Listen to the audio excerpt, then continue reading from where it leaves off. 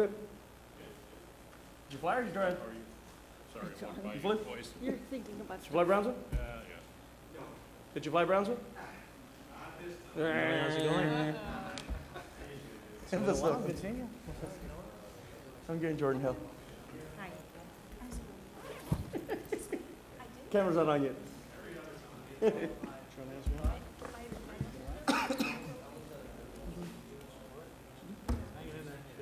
Can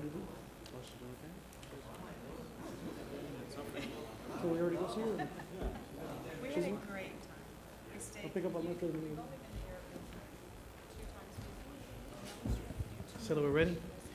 You want to read the call? Please read the call. Notice of joint meeting of the, pub- of the City Commission of the City of Brownsville and the Public Utilities Board pursuant to Chapter 551, Title 5 of the Texas Government Code, Texas Open Meetings Act, notice is hereby given that the City Commission of the City of Brownsville, Texas, in accordance with Article 5, Section 12 of the Charter of said city, will convene a special joint meeting with Brownsville Public Utilities Board on Tuesday, April the 20th, 2010, and a workshop at 5 p.m. and a regular meeting at 6 p.m. at the City Commission Chambers on the second floor of the Brownsville City Hall Federal Building located at 1001 East Elizabeth Street, Brownsville, Cameron County, Texas. Workshop item A, Brownsville Public Utilities Board Overview of Operations, Five-Year Capital Improvement Plan and Rate Study. And workshop item B, Public Utilities Board Water and Wastewater Utility Systems Project Financing Plan.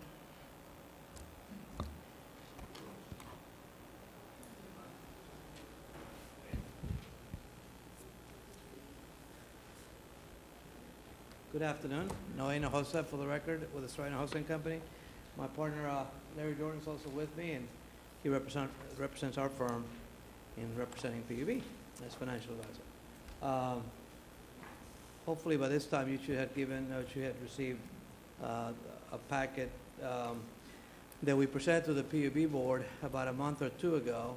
And I remember having a workshop session with some of you I guess, six months ago, maybe. Uh, And I've, I've, it was a joint meeting then too, and I felt like uh, that presentation didn't do as well, and, or didn't go as well, and I hope that today you have at least uh, a better perspective, globally at least, from a mac- macro level, as to how PUB is run and how it affects uh, what we try to do here day to day in terms of uh, city uh, matters. Uh, Oops. I see, okay. So basically, I'm going to take you real quick to a little bit of history.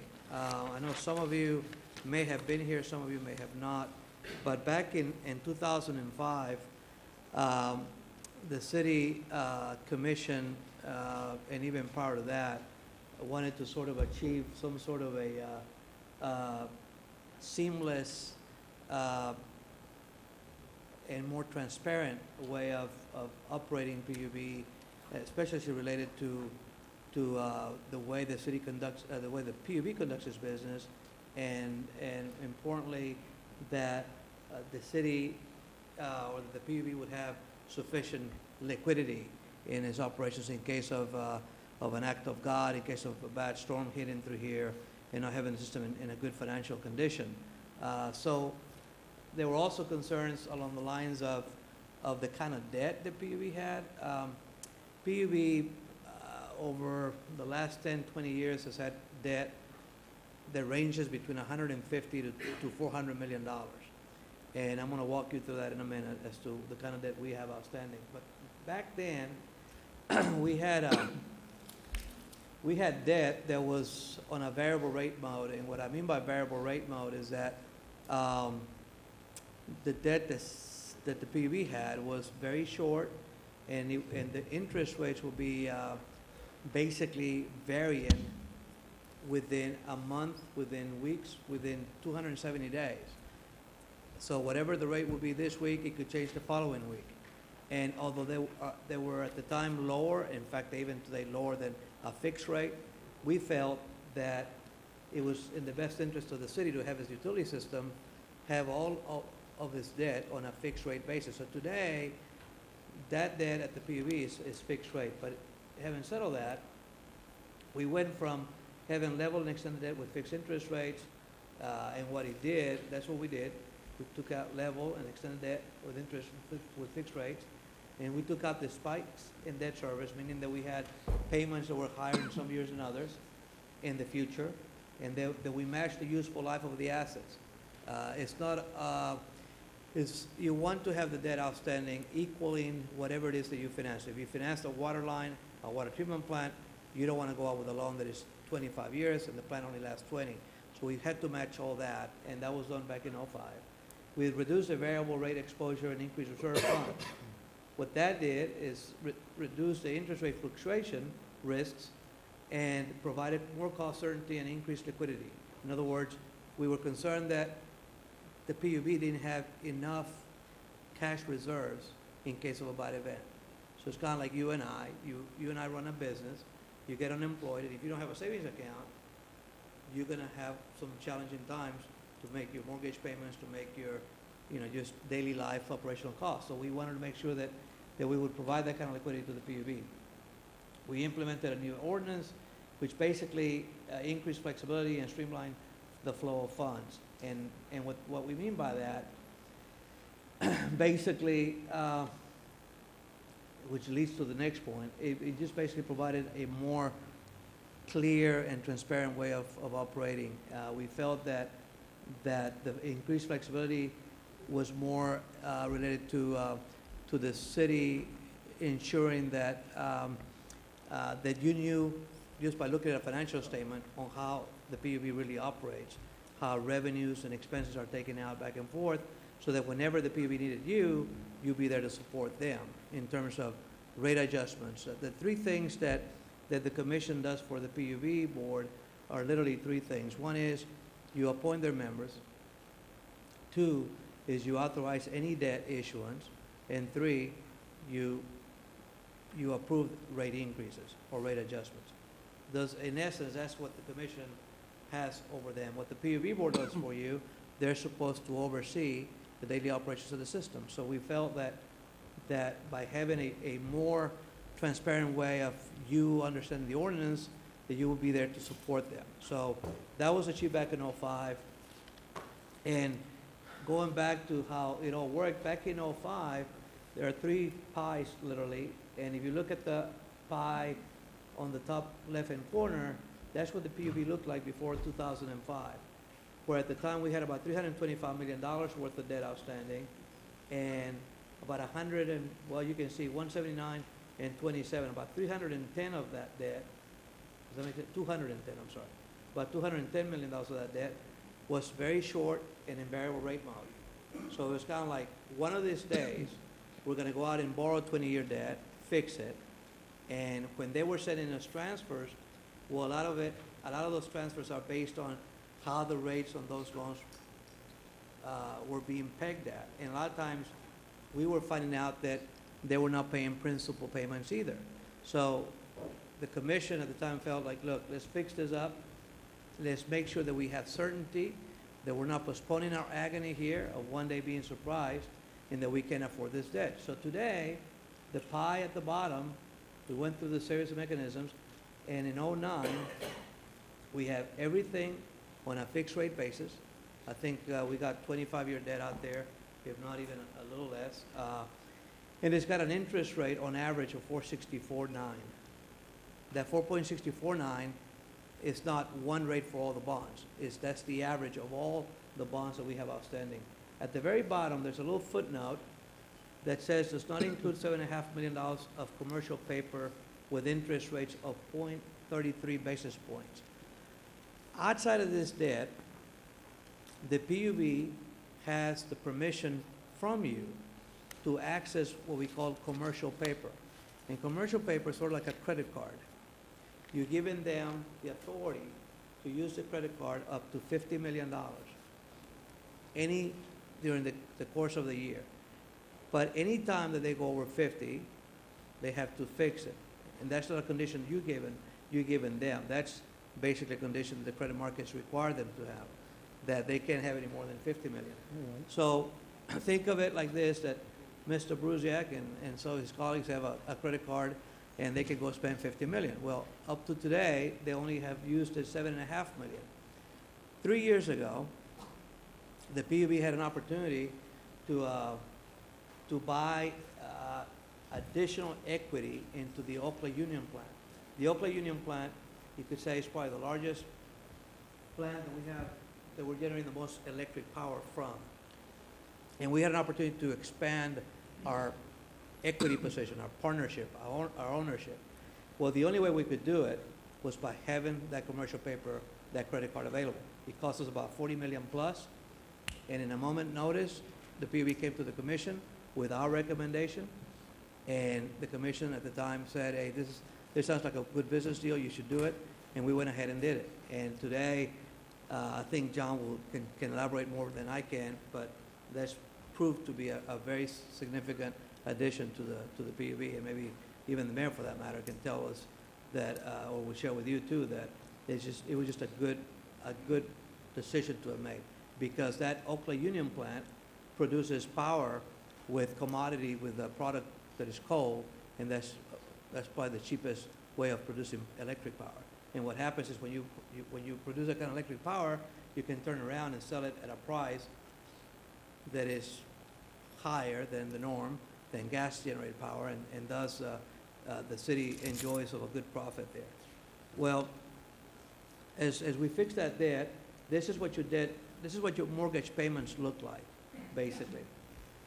They're different colors, and, uh, the yellow one, you could say is a, is the, the base, the foundation of, of all the debt of the PUB in terms of, there's an 05 financing, you got a little purple, a little orange and all that. The sum of all those columns is shy of about twenty-three million dollars. And as you can see, then you have a spike on or about twenty fifteen, and it stays kind of that level, and it drops all the way out to twenty thirty-two. Um, So in essence, when we are helping PUB bring out debt, we take this into account, that there is existing mortgages uh, outstanding. And uh, basically, those are the annual payments. Uh, When, uh, when we went about, there was a concern about too much debt. To us, the concern wasn't about debt. The concern was more of the system's ability to, to deal with adverse environmental or weather conditions. And some of the things that, that the PUB at the time didn't have by contract with bondholders were very concerning to us. And I'll give you an example. The very first column, or the very first row on the top, is an operating reserve fund. This operating reserve fund equals to your fund balance, to your, when you look at your, at the city's general fund operations, at the very bottom, you always ask Mr. Gonzalez, or maybe he's telling you, here's our fund balance. Well, that's what that is. Operating reserve fund is basically an operating reserve fund balance. And at the time, they literally had about $2 million. They had more than $2 million, but the ordinance only required for them to have not less than 2 million. We told them at the time that they should be more like at 12 and a half million, two months. So today, when some of you, out of curiosity, get into the website, Can I have some water? Some water? Not just water. Oh, when they uh, uh, took this uh, allergy medicine, it's real dried up. Um, when they, when, when you take a look at their audits at PUB, you're gonna find that a lot of their funds are restricted or maybe even unrestricted. And what I'm trying to do today with you is to kind of give you a good picture what is restricted and what is not. But what I, what I also want you to know is that even though you look at these numbers and they're huge numbers, a lot of these numbers are there for a, for a reason, a purpose. The first one, as I say, on that row, at the very far right-hand column, you see 16 million four. That 16 million four is sort of like, uh, it's sort of like the cushion that you have there in case revenues drop. And people say, well, what can cause revenues to drop? Well, not long ago, we have a client just uh, further up the road, uh, Laguna Madre Water District, that serves South Padre Island and, and Port Isabel. And when Dolly hit, it hit right smack in the middle of South Padre Island. Well, they had to shut down water lines, sewer lines, so on and so forth.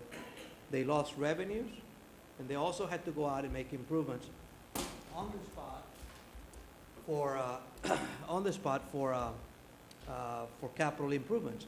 So what happened was that in a matter of a year, these people not only spent $2 million for capital ex- expenses, they also had to have their budget reduced literally by $2 million. So that was a $4 million hit. But that's only a, a 7 to maybe $11 million budget. The budget for the PUB is much greater than that. So what we tried to do there was to provide the PUB with a fund balance, an operating reserve fund, under contract with the bondholder, that will have at least 12 and a half million. Today we have 60 million four. Debt service reserve funds. This debt service reserve fund is sort of the, a fund that is there for also a rainy day, but only to pay bond debt service. In 2005, the markets were okay if an insurance company will sell you an insurance policy to cover that debt service reserve fund. Today, it's impossible. Today, you're required to put cash in there because the insurance companies, as you probably have heard about what's going on in New York and Wall Street, uh, have literally disappeared. There's only one uh, sure guarantee that is in the business. But today, PUB doesn't have any money there. So when you see all this, all this, uh, all this uh, uh, uh, cash out there, we worry that we don't have a debt service reserve fund. And as we go about issuing new debt, like I think uh, in a couple of years, we may be coming, maybe sooner, I don't know, uh, coming with a revenue bond issue for PUB, there will be a reserve fund component in the bond issue. And that's how we intend to slowly build that reserve fund. So right now, as of '09, it had zero. The zero, the city transfer, up to fifty percent of net revenues after some deductions. I'm reading the third row, I'm on the second column, what the previous ordinance said. That was very subjective. You can't believe, I think I owe some of my gray hair to that provision of the bond ordinance because there were times where the city commission felt that the PUB was being too subjective on how much money they were to give to us at the city commission. And I, and, and I don't see it as a gift. I see it as the commission being the investor, being the owner of this asset. And that, that asset, if producing revenues, you're entitled to some sort of dividend or some sort of distribution. So at the time, the distribution was very nebulous and, and if, if, if, they, if they were having a good day, they, they give us what we were asking. Well, we thought, let's make that more subjective, or objective, I'm sorry. And, um, and basically, the current ordinance today says ten percent of adjusted gross revenues of the system. So today, in, I guess in, in uh, '09, we must have received cash about six million three eighty-one. Uh, Is that correct, uh? Okay, so basically, that's not an amount that is there sitting on a fund, that's actually distribution given to the city. Okay. So then, the, the next item is capital reserve fund. We talk about surety bonds, that's what the old uh, ordinance uh, didn't have, now we do have it. And my point to you there on the capital reserve fund is that back in the day, they, we, we didn't know how they, they funded the capital reserve fund. Today, we, we asked, actually, we accumulated fifty million dollars, uh, initially funded in five equal deposits of three million. And today, the PUB has fifty million dollars. In fact, they've done so well, there's a little footnote at the bottom of that page, and that's intriguing for you to know, that because of the PUB having done so well, they actually have about twenty-eight million dollars on top of the fifteen. And if you remember, Mayor, uh, we were there together, and some of you on this commission, there were concerns about borrowing money all the time. And we like to pay for this, some of these improvements with cash. But that's, today, PUB makes a lot of its improvements on capital improvement plans out of that fund, out of that twenty-eight million dollars that is currently there. What was important was that when we did all this master restructuring, as I call it, back in the day before '05, those are the rating agencies and how they valued or how they viewed your credit ratings, the credit quality of the instrument. And back in the day, you could literally say, everything was in low A category, even B double A one, and today, as we speak, we're in the solid A category. If you ask me, what is the difference in rates?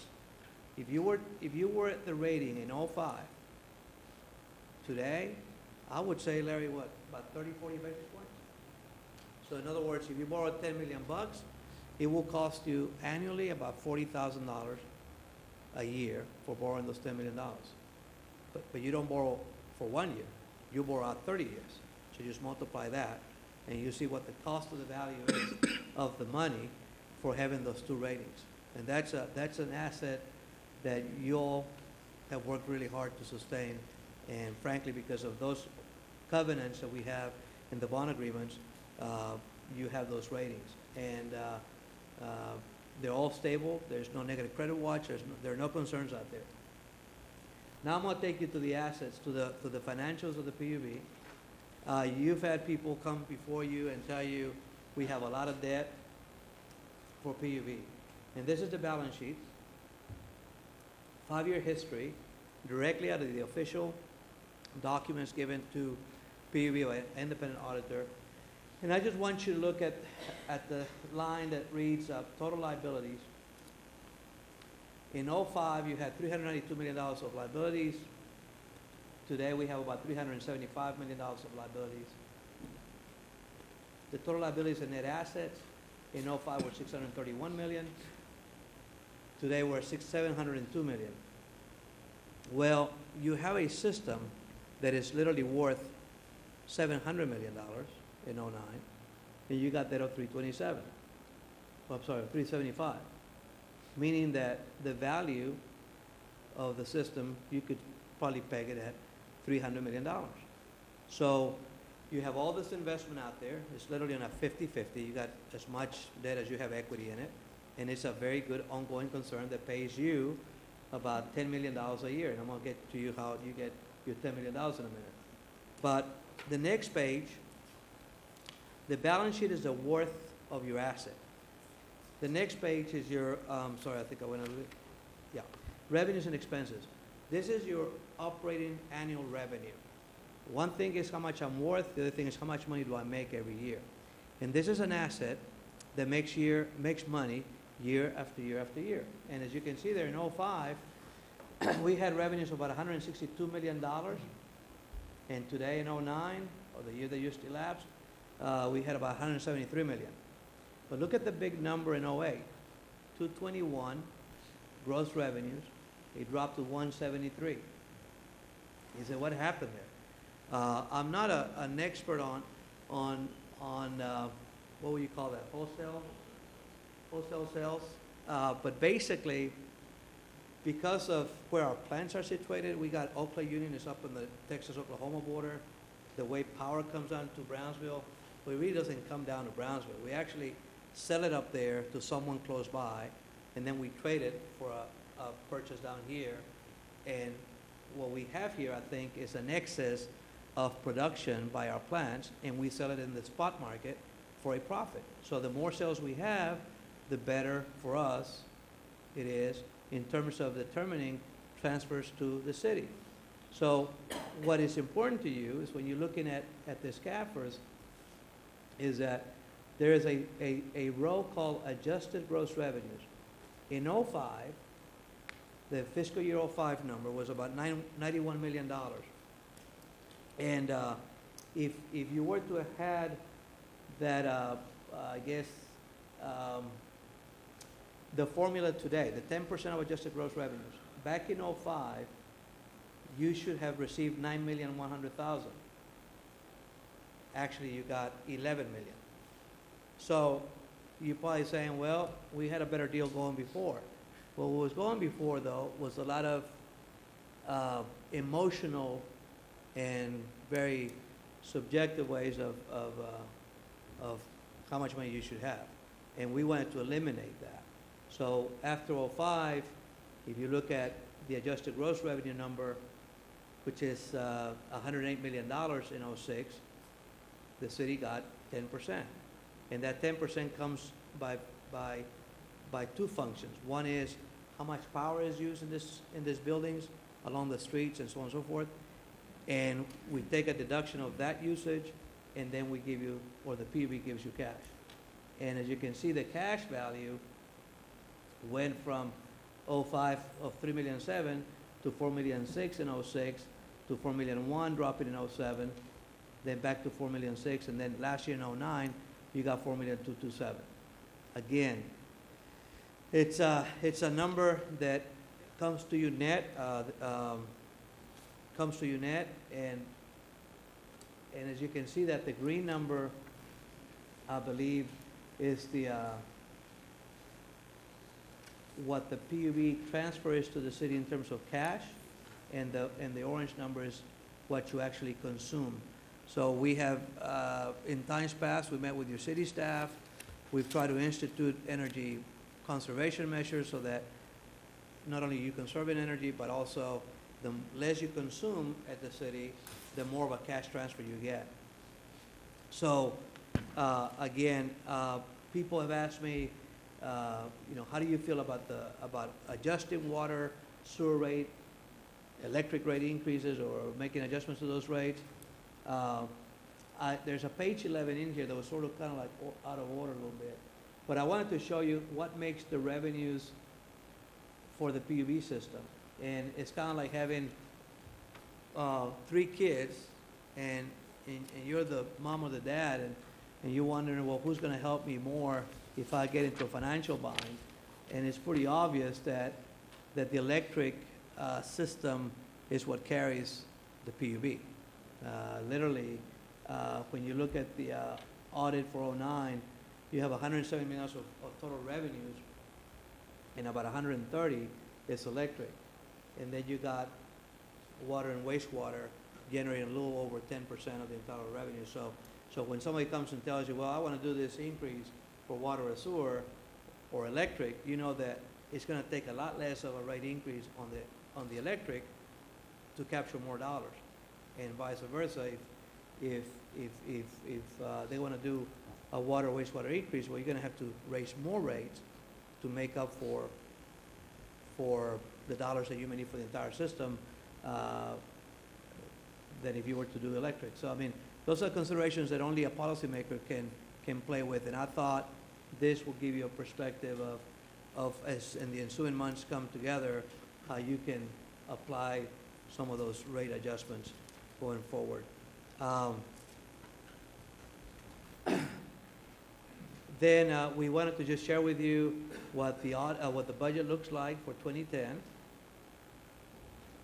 And uh, I don't see any surprises there, other than the fact that, uh, and I don't know if it's reflected in this page, uh, Leandro, but one of the things that we did this year, in lieu of the fact that you were ch- having challenges last summer with your operating budget at the city, was that we asked the PUB for help in maybe making available to us in case sales tax were to drop of about three million dollars. And uh, basically, in addition to the, to the cash transfer, that as you can see is calculated at the very bottom, they're expecting, and I don't know, Pete Gonzalez, if, if that's what you have in your budget, five million three? So you're anticipating getting the five million three. A lot of things are gonna happen in the course of the year, that you may get five million three, or you may get less, or you may get more.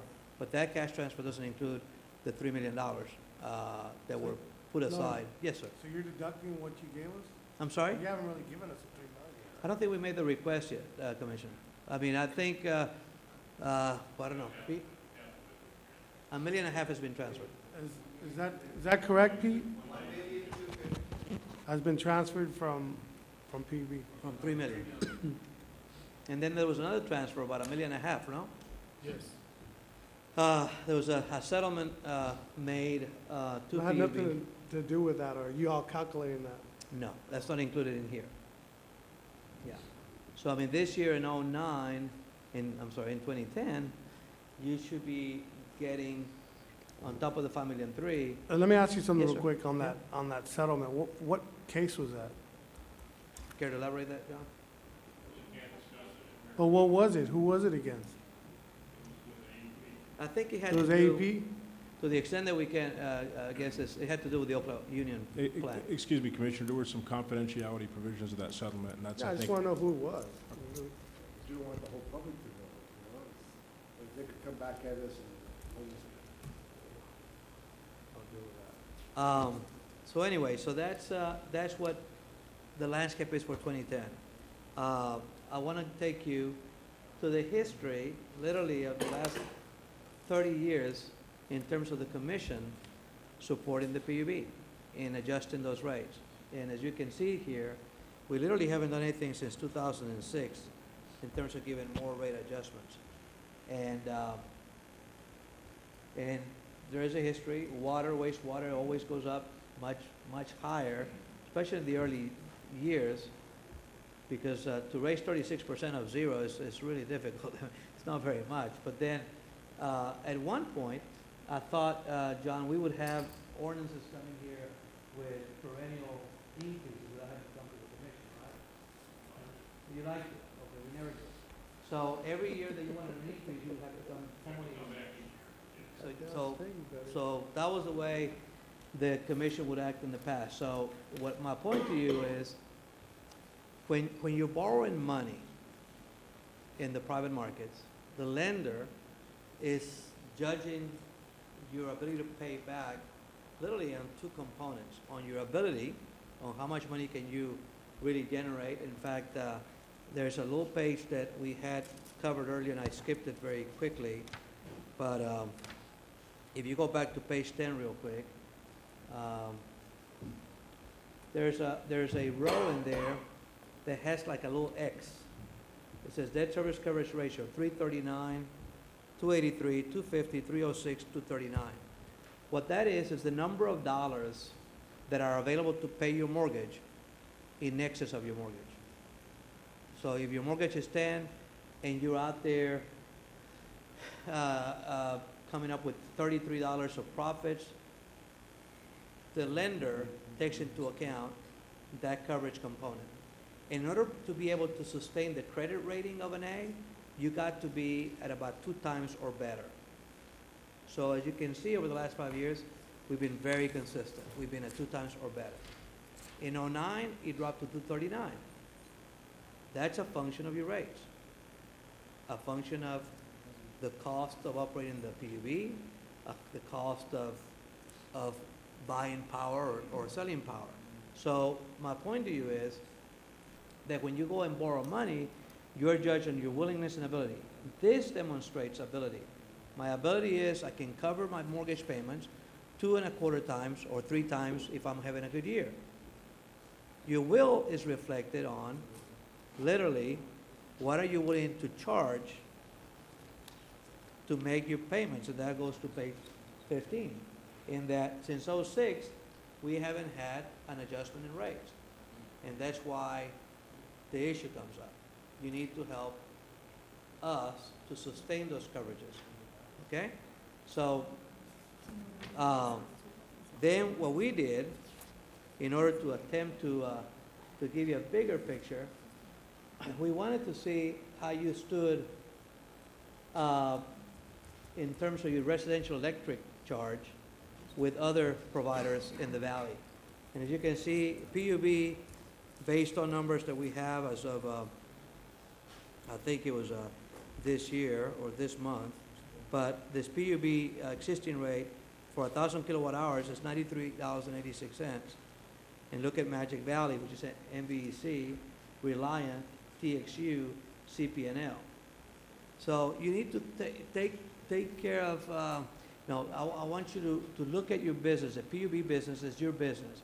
And when people say to you, well, McAllen charges me less water and sewer than you all do, you know, uh, Harlingen may say that, this is a competitive business that you're in. But none of them have what you have, and that's this asset. So what I wanted to sort of share with you too is that try to run it as a business, that if you're lower than they are, or if you're higher than they are, be aware of where you're lower and where you're higher. And if the, if you are lower, think of it like this. Is your business, is a business that you are in forever? I don't know, I haven't heard anybody thinking about selling it. But if you're gonna be in it forever, and you're leaving look at the rate between Magic Valley and you, it's ten dollars. Then you go to a private operator like Reliant, TXU, CP&L. Those guys are higher than us by forty bucks. You have to determine as to whether, do I wanna leave all that money there on the table in lieu of the fact that I may need to repair an electric plant in year, five years from now, or ten years from now, or fifteen years from now? Should I be accumulating cash reserves today so that when I get to go and do what I need to do, I don't have to borrow as much money? That's part of the business consideration and component that plays in here as to when you look at what is your competition doing versus you. No, I thought we were gonna use a lot of that Weir Dam money to go toward that sewer plant. Um, I'm not gonna get into those issues, Commissioner. I think, uh, uh, they, uh, Leandro and? John will uh, elaborate on that. I'm just trying to give you, right now, I'm trying to get you a big Well, picture. when you start talking about the economic model, if you're leaving that forty, fifty dollars in the consumer's pocket, Yeah, then they're gonna go out and then they're gonna buy things with that, Sure. and we're gonna generate sales tax. sure. And so you're, you're picking that money up at a different level. It becomes a question, does it go back into PUB, or does it come into the city's revenue directly through sales tax? My, my only concern, uh, Commissioner, is that you need to be aware. My, I'm No, not no, coming here to and tell I you. appreciate that. I'm, I'm not coming here to tell you this is what you should do, but think about it like this. If you have an electric plant need in five years or eight years from now, Oklaunion has been a great, uh, asset for you. It's a coal, electric, coal power generation plant. What is the likelihood, and I'm not the expert, of you being able to build another coal generation plant in today's EPA standards? And my point to you is, Well, that was the whole reason we wanted to buy into it, right? huh? That was the whole reason we wanted to buy into it, right? So you're grandfathered in and you'd have the, uh, the sunset provisions in place and then be allowed to use that to the maximum of its capacity until it was defunct. I'm not here to argue whether we went into it or not into it. What I want you to be aware is that as a city as city grows, the needs grow. And one of these days, you're gonna have an unexpected, we're gonna have to make an unexpected investment. And my question to you is, how do you, are you prepared to make that unexpected investment? And when people tell me, there are a lot of moving targets, there's- there's not a specific reason why you do certain things or not. From the big picture, you need to be You're aware just that. trying to show us the lay of the land and e- educate the public as to what Mhm. issues are before us and why certain decisions are being made or considered at this time, correct? That's right. Thank you. Uh, uh, we get, cons- we worry on your behalf You're with trying to tell us that we need to be fiduciaries. visionaries, Mhm. uh, to plan ahead for the unknowns and also for the knowns, and to be fiduciarily responsible to make sure we maintain it, okay? And have the resources to meet any challenge, whether it's capital improvements uh, That's all it is. Eh, or disaster. Yeah, and you're only gonna be equipped in doing that if you know how all this works, and that's what I'm trying to tell you. And it's And not that- just one factor, Hmm? and it's not just one factor. Yeah, exactly, it's not one factor. When people tell you, oh, you got all this debt, and, and, and people do tell you that, well, but have you taken into account how much it's worth? Oh, my Exactly. goodness, That's why I you brought have up all the this. sales tax issue. I mean, I'm that's a- sorry? That's another moving part. You have to look at all the revenue sources and all the moving factors. You're looking at, okay, well, yeah, we're, we're down forty dollars here, but we're picking it up because people have expendable cash because we have low rates and we have a very impoverished population. So, What do you think that CP&L cares? And I'm not worried about CP&L, I'm worried about PUB at this point. No, you're worried about your ratepayer. Exactly. We all are. We're, we're worried, we're worried about our investor mm-hmm. who is a citizen of Brownsville. So it's hard for me to challenge you any differently. I understand, but there's nothing to be embarrassed about. One thing is being not forty dollars below, another thing is being below thirty-five. Why can't you be at ninety-eight dollars? I'm not suggesting, and I'm not suggesting that you go to ninety-eight, I'm just telling you, you are the fathers and mothers of this community, and you need to be aware of how much money is out there. And it might actually be the lowest. And then, as I take you further down, in that. Well, in I think I remember being here and they were talking about, uh, basically increasing certain revenues on, uh, what was it, the, uh, Which one? on- that we were gonna pick up all this money based on, uh, new construction and, and, uh, impact fees. Oh, the, Well, the uh, impact there's no fees. construction going on, so, you know, all of those, all of those projections are out the window and Oh, nobody can yeah. afford them, so nobody's building, and so we have none of that revenue. So that That- was a whole, uh, That's Yeah. why we felt that if you were gonna do the impact fee increase, that would, that it should be based on a, on a staggered or layer impact rate increase to, to figure out the tolerance of the consumer, the fellow who wants to build. It was not a matter of just trying to capture all this money. I think there's a resistance. it resistance was point. based on perceptions of what economic growth would be, and those, ec- and those economic growth figures were, were greatly exaggerated based on reality. And there's a resistance. And resistance, hindsight's twenty-twenty. yeah.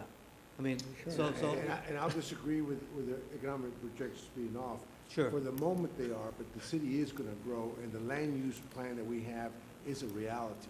It's gonna happen, whether it takes five years or eight years. yeah. We need to be prepared to meet the challenges of providing for sewer for those new connections, providing electricity at a, at a, competitive rate, to Mhm. where the citizens are not comparing and saying, hey, how come, you know, why not deregulate and let others come in because you're higher than everybody else? Sure, We need to have the money to invest, to maintain the system where it's uh, operating most efficient, less costly, and most productive for the citizens of Brownsville. yeah. You know, the funny thing is, Commissioner, you tell me about the electric rates and what they are and, and versus CP&L. The beauty of it is that somebody from Brownsville, I'm from Brownsville, but I don't live here anymore, but, you know, it's so neat to come up here and tell you, hey, my rates are too high. And you can do something about it right here. You can't do that anywhere else in this valley. So that, you know, we got, that's an, that's an asset, it's an advantage, take advantage of it, do something about it. And, and, and then my point was, page nineteen, when you look at the base of PUB, it's not electric only, it's water and sewer. And when you look at the water and sewer, you look at Brownsville rates, literally for the last seven, eight years that we have up there, on ten thousand gallons of wastewater consumption or water consumption, and look at those rates, and they're pretty much at par with everything out there. And what I wanted to show you was, that's water and sewer, but if you, if you look at the combined charges in '09, you're like at fifty-eight dollars per ten thousand versus San Benito oh at sixty-four, versus Harlingen at fifty-nine, and then McAllen Edinburg way below you, okay? And Town and Edinburg is subsidized by other means, which is gas uh, revenues and stuff. I, like that. I also think, Mayor, that it is cheaper to treat the water up there. I mean, they're higher up the river, and it's, by the time you get it down here, it's a little bit more, well, I wouldn't say the word, but I think it takes a little bit more to treat We're at the the end of the water. river. I'm sorry? We're at the end of the river. Yes, right. We're like at Uh, the end of that, I wish you had said I'm sorry, I think I, s- I messed this up. Noe, you made, um, early on when you were giving the, your report, you mentioned three things that the city could do. And, um, well, I like to think there's, there's a couple other things the city could do. Sure. And one, one is you're providing the statements, the financials, revenues and expenses and all this information. Um, but I think one of the things, I think for me at least, um, that we don't know, and I think the city should mandate that PUB do the following, or we should ask a entity or a group to assess PUB top to down and left and right. Because we need to identify whether staff makes sense, whether products that we purchase make sense versus what are the plans that are in place make sense. And look at that entire mechanism and, and assess it as it should be, um, as we should do in every department. City and other entities, they, they do the same. Um, we don't know that, and we should. And I think there should be this external group that does that, so that the people will know that, yes, we're operating as efficient as possible, and we're generating as much revenue as possible, so that we don't come to this point where this is what we're gonna have to do because we're not, we're not gonna be able to meet the needs down the road. That's one. Two, um, two is the issue of, um, there's always been these, there's always been the, I think between the commission and PUB, um, the, uh, the, the lack of information or being aware of certain things, um, you know, and, and, and sort of a, of a division between staff and, and, and this group for whatever reason. And, and that too needs to change. That too needs to be more open, more transparent, so that, you know, we're all on the same page. We all understand what we need to do, what's asked of us by the constituents, and PUB as, you know, the individuals that are obviously producing and generating this information uh, on a daily basis, we need, we need to know that. We need to be able to access that information. And when you say Um, we, do you mean the city commission? I mean the city commission, right? Because again, we get asked constantly, and without thinking, why, well, I really don't know, but you know, we're gonna talk about it on Tuesday night. Well, that really doesn't work, you know? Some of this information that we just got right now, and you're presenting it, well, you know what, that's not, that's not good enough. You know, this information should have been brought to the commission prior. And it's not a, you know, I'm not trying to be, you know, negative or, or, or, you know, or, or sound, you know, attacking, but I just want to make it clear that I think this is part of the reason of some of the things that need to change. Because, again, as you all are aware and have everything at your disposal, we should too. Yeah, And I think, again, that's going to help us, Commissioner? help us move forward. yeah. I'm, I'm saying some of this information would be good to have in our, in our Friday packet. So when we are over the weekend reviewing our information for Tuesday's meeting that we know, Sure. and at the same time, the, the communication lines, one, you know, John presents our, his weekly report to us every week. Sure. Well, that's great, it wasn't done before, well, now it is. Things like that. Yeah, I, I think, I mean, I, I take your comments in, in great light, and, and I've been criticized a lot worse, but my objective here today was just to give you a, a total overview of how the PUB is really working not only for the city, but for its ratepayer and its taxpayer, who after all is the owner. This is sort of like the last page. Real that- quick, Noe, I- and I appreciate you doing that, to Uh-huh. let some of us know what exactly you're doing, but at the same token, you also have to come over here representing PUB. Are, are y'all coming to rep, rep, to, to ask for a rate increase? Because it passed at the PUB board. I think, Mayor, you voted for the, for a rate increase. Is that what, what this is about? Is that you're, you're presenting this so we can go through with the rate increase? I'm trying to make you, I don't come. I know here- you're, you're, you're educating us on, on this, and I Sure. appreciate that, as far as coming from the city's aspect. Let me But tell you from what I- PUB's aspect, Yeah. are, are you also geared to come and tell us that this is why they need the rate increase, and we should go with this i- Well, rate? let me increase? just say this, No, no, Commissioner. let me answer. Go ahead. We have. a I'm asking fiduciary- no, him. We have a fiduciary responsibility Sure. to keep the city abreast as to what the needs are of PUB to maintain the system and maintain competitive rates. Whether the city adopts rate increases or not, that's up to us here. They can only recommend based on the planning of PUB, okay, and based on the planning of the city. So why'd you vote for a rate increase?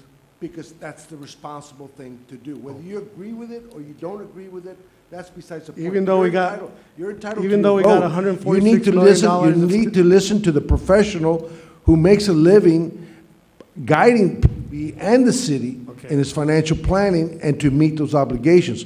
Based on his recommendations, okay, staff's recommendations, management's recommendations, and the needs of the system, I voted for that increase. Now, you don't have to agree with it, but listen to the expert. He's the expert. I'm not the expert, and you're not the expert. And was all these Mr. uh, things, Hinojosa? real quick, was all these things taken in the hand of uh, $146 million that, that we got from stimulus money? The, the lawsuit that we just settled, is all these in there? And during the time when people need to hold on to their money right now, is it a good time to come before us and ask for something that, instead of tightening our, our, our belts and looking for other alternatives, is, is, is this the right time to, to come for it? Well. And that's what I gotta Well, protect. This actually, I only is have one question Go before you answer it. Sir, you're just here to give us the information. We have Yeah. to make the policy decision, right? Yeah, right, So at the end of the day, it's up to us what we do. well. I mean, you're providing the information and we have to then my- my wife digest it. sometimes. Well, let me just say this to you, Commissioner. I think at the night that the board approved the rate increases. It was a uh, four-three vote, right? There's a fourth, I, I was real concerned about the message. The message was simply, from our perspective, now take, take my background. I'm a banker, and right now bankers don't have the best of reputations out there. But You're kind of like lawyers, right? Yeah, sort of. But, no, I think, no, I'm just kidding. But, I, I, you know, bankers, the people that are lending you money, all they want is more cushion. They want more, more comfort. They don't want to lose their sleep in your ability to pay them back. So the only way you're going to do that is two ways. Either you cut expenses or you raise revenues.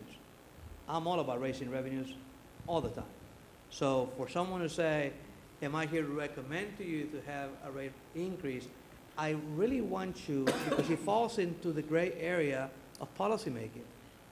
In order for you to make right policy, in my opinion, you need to be educated about all the factors that come into play. It is not my, I can tell you, you should raise the rates. You should. But I'm not here. Just because I say I should, shouldn't go that you, you should follow me and, and fall off the cliff. You need to just appreciate the fact that when I take you to this page twenty, for example, and you put all the water, sewer, electric rates combined, and you look where you are as a city, Brownsville, on average, is about hundred and forty-eight dollars per bill. And you look at everyone else, McAllen, Edinburg, Harlingen, San Benito, you're below them. And, and my point to you is, there is a certain degree of room where you can move up if you so choose. But that is the power that you have. And when you mentioned, Commissioner, that you like to have maybe another committee per se, uh, to sort of keep an eye on how processes are handled at PUB and, and be better informed. You know, it's one of the unfortunate things about the ordinance. The ordinance was done back in 1970, I believe. When was it? Uh, What, 70 or 69? Uh, You know, the one that instituted that the mayor should be ex officio? This is going back to the 40s or 50s. You know, the mayor is the only person on the commission that sits on that board. And it's really difficult for one individual not only to attend those meetings, attend these meetings, and also keep you informed. I mean, as the days have gone by, commissioners tend to be more engaging. And, I mean, I applaud you for the fact that at least you do care about what's going on over there. And that if you feel like you're not getting enough information, and that you should have somebody else, another body, to sort of be like the middle, it's hard to, it's hard to not agree that if, if you're gonna make a decision that you believe is difficult, but you don't have all the information in place, um, and you feel like you gotta have a committee, that's your prerogative. It's not my prerogative. I think, I don't think it's gonna be, the rating analyst, the banker is not going to punish you for you attempting to be better informed as to how it is that the PUB should be run. But I wanted to tell you that even though you may feel confused and, and a bit unnerved about how the system works, the fact of the matter is that on record, you should be proud of the system you have. Well, Mr. Reynoso, I really Yeah. appreciate you coming here. The other question I had was, when you started looking at what McAllen and some of these other cities have and what they charge, did you look at what the average income was for their, their residents? Because we I know that the standard of living in, in McAllen is a little bit higher, and some of the Mhm. other places up the valley, people have greater income. I mean, we are, based on the census numbers, Well, I'll say this, Commissioner, but my point to you is not to, to tell you, oh, you need to do this and do that. And frankly, who am I to tell you? Uh, You deal with a lot of issues out there. You can manipulate data any which way. My point to you was, And that's irrelevant because it, it has, it's driven by capital needs, not by the income that somebody makes. It, it, it's, how, where do we want to go? well, well, eh, Mayor, and, and that's what I want to get. Where do we Page want to 20 go? Page twenty-two. Page twenty-two, we talked about how the rates work, revenues work, how much are we worth. Page twenty-two looks at what are the five years' needs for the PUB? And you're looking at about hundred ninety million dollars that they need to, to fund over the next five years. And you talked to me, uh, Commissioner Atkinson, about where does the money come from in terms of, uh, the ARRA funding? Some of that ARRA funding, was a big announcement, but only some of it is ap- applicable in, during the next five years, and is, I think, reflected in there. So my point to you is, when you have all those needs, just think about it like this. You're gonna fund some of this with cash, you're gonna fund some of it with grants, you're gonna fund maybe some of it with zero percent loans, but others, open market. Open market meaning coming to the, to borrow money from the open markets. And my, and my whole point is, there is no way, it's not human possible for you tonight, if this is the first time you've seen this, to make a decision later on about what you have to do. I grant you that, but I think you need to be aware, like anything else, this is a big system, and it's gonna need improvements. And the quicker you can get to getting comfortable in doing something to either increase revenues or reduce expenses, the better. Because you got, these needs are not gonna go away. And if they, they can't go away because it's a system that if something happens to it and you don't take care of it, it's only gonna hurt you down the road. You're postponing agony. Let, let me No, ask let you a me- a question too, uh, Commissioner, can I ask him one question? Sure, go This ahead. is something that we, had- I don't think you've mentioned at all tonight. Um, And that would be conservation. You talked about cutting back, or you're gonna have to pay more, but why don't we talk about con- conservation? Why don't we talk about at PUB a plan to educate folks on you use less, you pay less, but this is what it would do for the city as a whole. You know, I know we're gonna get to this point where we're gonna have to vote on a rate increase, but mm-hmm. for the future, for, you know, next year or next quarter, however, we should know, or we should have, some con- conservative plan in PUB for wastewater, for water and electricity. And, and, and that should be something that whether there's a team or a department devoted to that specifically, because I think that would help. I think that's going to offset whether, whatever income you and, you and I make, um, and whether I can afford it or I can't. If I know that this is what I need to do for my household, and I know that, you know, ten or twenty others are just like me, then I think we could see some major, major savings on the system. Now, I don't know that offhand, but that's why there there has to be a group or some sort of a, of a plan in place to kind of see how we, how we go. Which leads to my recommendation in the end, and it's something that I had the opportunity to you discuss get the board. there, uh, Noe, would you please show, if you can, if we do nothing, what's gonna happen? Well, if you do nothing, uh, just off the top of my head here, If I I'll take you to, uh, to that page ten. That page ten, you can take home and, and just look at it, but basically, I wish I had a little pointer there. You got gross revenues of hundred and seventy-three million dollars. What's more important is adjusted revenue. It's adjusted revenue because whenever you sell a lot of electricity out there, there's a cost for the cost of good, like whether you're using coal, whether you're using gas. You gotta take the cost of the good that allow you to produce the electric power. So the adjusted gross revenue, look at that number, went from one nineteen to one oh six. Your maintenance expenses, this is the operating budget of PUB, literally. It went from forty-five in, in oh-seven, if my, if my eyesight is good. Then it went to, uh, to fifty-one million in oh-eight, and then it, it went up to fifty-three and a half. If nothing is done, Mayor, and you have to borrow hundred and ninety million dollars, which I don't think you do have to, that's adding another fifteen million dollars of mortgage payments annually.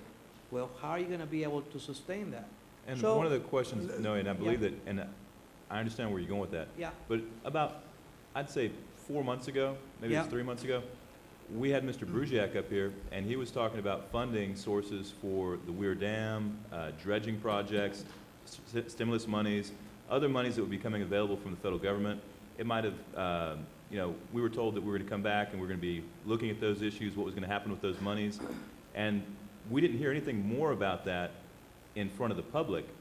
And the next thing we get is you coming up here saying, well, we have to raise rates because, well, we need this $190 million over X number of years, which may be true, but as you said earlier, there are other sources of monies. There are federal grants, there are stimulus monies, and there's also rate increases if we have to get to that point. But you have to look at all of the moving parts before you say, this is the one I'm going to do. And I appreciate you coming here and giving us all this information because I think we all needed, you know, the information to understand the big picture. But I also think that we need to have Mr. Bruciak come up here again and say, what's the status of those twenty-three million dollars, or twenty-three, twenty-three million? Forty-six. Forty, forty-six million, okay? So what's the status of all that money, and, and what access do we have, it and how can we apply it versus on the other projects that we had, uh, picked out on before? Because what you're giving us is vital, but we need to look at all of the information before we can say, boom. if you go to page twenty-five, Well, which is my But please conclusion. finish what Yeah. you were saying about doing nothing, because you had a projection of, a forty million shortfall, one. Two, the- as far as what Mr. Commissioner, uh, Triani's saying, the, the, uh, the uh, stimulus money was applied to the, to the capital improvements, and the rates were reduced based on that stimulus money. That was taken into account into the proposed rates, Mhm, okay? And you know that. mhm. Okay, so the proposed rates already takes into account the grants that we're receiving. So So, some of it, Mayor, I don't think all of it, but, but that's okay, go ahead, Commissioner. where, Um, where it's applicable. Yeah. I, I find your presentation very easy to follow, and, and I'm learning a great deal. And I would very much like to know where the stimulus funds fit into all of this. Is Sure. that in your presentation, or, my first question is that, is that in your presentation, or is that coming later? And my second question is, will you make it a habit of coming regularly to educate us like this? Because this has been very good. Yeah, yeah, well, thank you. Regular. The Thank you. stimulus is in our second presentation tonight, which I think we probably ought to defer because of time, because that's another, I, I think, I think that's a wise thing and to we do. can bring that can- as an action and update Commissioner on uh, stimulus and, and uh, lead into rates down the road. We're not there yet, asking for rates yet. And, yeah, and basically, the rate study, we didn't do the rate study, that was done by Black and Veatch. On page twenty-five, those are five options that you have as to how you can, in our opinion, generate sustainable revenues to fund capital projects and fund self-supporting M and O costs. So, rating increases as provided by Black and Veatch is not the only answer, which kind of goes to what Commissioner Camarillo was saying about having to review other options with maybe some other body or whatever. But in any event, I want to take the opportunity to, to first of all, congratulate you for being so engaged, not being shy. I've never been, I've never come to this town and, and not be greeted by, by shy people, but, uh, uh, you should be commended. I mean, you followed up pretty well, and if there are any questions you have, please don't hesitate to call in Larry Jordan, my partner, or myself. Uh, we represent, we believe, you first and the citizens of Brownsville, and this is very much part of the city of Brownsville. Thank you, Noe. Thank you. Thank you, Thanks sir. for coming down. Thank you, sir, very much. Thank you for the presentation. Okay, can we have a, a motion to table B? So move. We have a motion by Commissioner Camarillo. Can I have a Second. second? Who made the second? Second. Commissioner Atkinson. All in favor? Aye. All opposed? Motion carries. Um, Let's rise for the Pledge of Allegiance.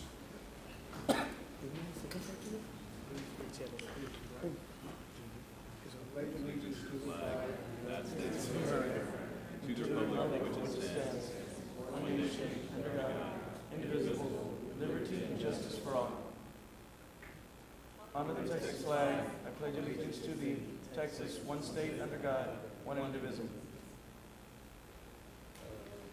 Pastor Lance. Ostetter. Will you join me in prayer? You with the Central Christian Church, welcome to. Yes, sir, thank you. Thank you for inviting me. Lord, we thank you for this day, and we thank you for this opportunity to serve our community and our city. Uh, we pray for each one that's been elected. We pray for wisdom and sound judgment. Lord, we ask that we'll show respect for one another, even when we disagree. And we pray and ask all of this in Jesus' name. Amen. Did I pronounce your name right, Hostetter? Yes, sir. Thank you. Thank you for coming. Okay, we'll go into the mayor's report. I'll provide a synopsis. Uh, I went to Ciudad Victoria. Uh, met with the governor yesterday, uh, again on the Weir and the River Walk, which he's much interested in. Uh, participated in Earth Day. Uh, we also had a paused adoption. It was uh, awesome. It was a great event there along with the flea market uh, Saturday. Um, Gus Vena passed away and uh, went to the funeral. Uh, He was part of this community, uh, well-known and well-liked. The the the funeral was attended, uh, speak- spoke for itself, the friends he had and how much he will be missed. Our condolences to the family, Vena family. Uh, And uh, we had um, uh, functions that I attended uh, throughout uh, the past two weeks. Um, PB meeting, um, an event with the chamber, uh, the 409 Gallery. I want to encourage people to uh, learn more about the 409 Gallery. Uh, For those who are into uh, culture, art, music, it's on Sundays afternoon. It's a great gathering of people there to relax and listen to music and appreciate the art world. Uh, It's here on uh, 12th Street between Levy and and Elizabeth Street. Uh, I wish more people would attend it. It's well attended, but uh, I would like to see more people there. Um, met with people on requests or complaints, forwarded them to management or the proper uh, departments, and had some meetings dur- during the week, and it- I felt it was a productive week. I want to thank all those who have come up to me and expressed uh, their best wishes to me. I'm very touched by it, um, and I'm very grateful to their support. And uh, that's my report. Commissioner's report. Commissioner Rose uh, you. Thank you um, Good evening, and uh, on the front of wellness, um, I would like to thank very much the PUB, um, curiously, they were here tonight, for a wonderful Saturday function last Saturday at the HEB on Paredes Line Road. They organized a three-level um, approach to wellness and engaged hundreds of people that were shopping at HEB, including our um, Biggest Loser contestants. Um, they they really went all out and had all sorts of door prizes and gave away a bicycle. Had several staff members organizing very informative talks, including the importance of taking your medication and why it's important to eat breakfast, and many others. This coming weekend, there will be a, uh, the Port of Brownsville will be sponsoring a free 5K run and one mile, uh, and one mile uh, run walk at the Port of Brownsville. Registration starts at 7 a.m. and the run or walk begins at 8. There will be T-shirts provided by the Port of Brownsville for, uh, I believe it's the first 300 or so um, contestants. And as I said, it's free, all in an effort to um, participate in the initiative of wellness that's spreading through the city. Finally, I'd like to, to uh, let you know that Stephanie Garza and John Rodriguez, our city grant writers, are busy writing grants um, probably as we speak. The Pepsi Company now is hosting what's called the Pepsi Refresh Project. And Pepsi is giving away millions of dollars in grants uh, for worthy causes that are voted upon by individuals like you and I.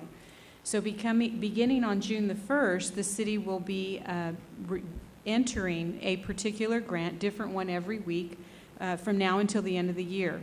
So we will be distributing that information, and uh, you can go online as a commissioner, as a citizen, as a whatever, and vote uh, every single week for Brownsville. So I think that it's important that we come together as a community and do just that, vote for Brownsville, and get, uh, and get some much-needed funds into projects like the museums and infrastructure and gardening and many other needs that are here in the city.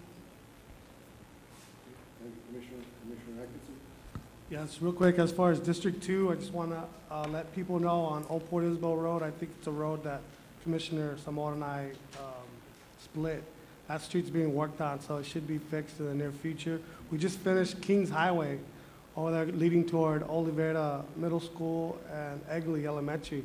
That road was pretty bad, and we're fix, we fixed that street, and we have a little bit more to go on it, but it should be done this summer. Also, um, as far as the sports park, April 22nd, Thursday, we have um, um, uh, world champion sand volleyball player it? I always say his, I always say his name wrong. But he's coming down here. He's going to open up our beach cove. Uh, we, we, we would appreciate it if a lot of people show up for that event. It's gonna, we'll have sand volleyball all during the summer, and it'll be thanks to the efforts of the BCIC board and our commissioners who have uh, backed us up on, on, on trying to provide a better place out there in the Brownsville Sports Park. Um, for those of you who don't know and haven't read the paper, uh, the city signed a contract with the Rio Grande Valley uh, Bravos.